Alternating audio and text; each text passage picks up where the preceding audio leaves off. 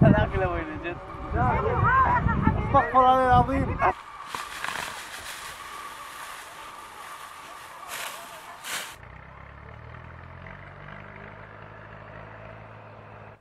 الفستق هو محصول يعني يعتبر عنا بزردنا أو برات زردنا ما هو محصول رئيسي.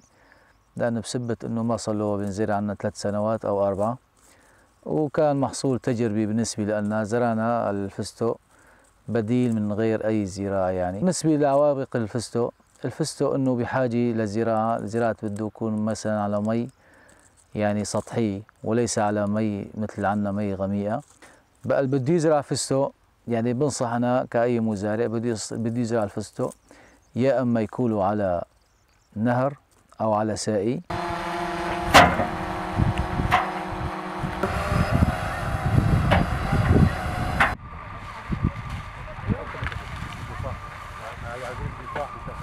الفستق ثلاث شهور أو أربع شهور هيك بالتحديد أربع شهور يأكل مده الزراعة.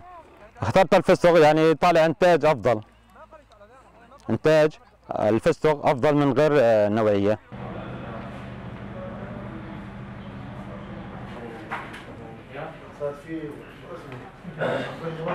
نسبة الزيادة حوالي 30% كانت سابقا 10 هكتارات هاي السنة تقريبا حوالي 65 هكتار. يعني صار في إقبال من المزارعين على زراعة الفستق السوداني. الناس عم تقبل على زراعة الفستق السوداني لأنه يعني بالوقت الحالي صار محصول هو جيد يعني نوعا ما. ما بده خبرة زيادة بالزراعة ما بده أسمدة أو أدوية ما فيه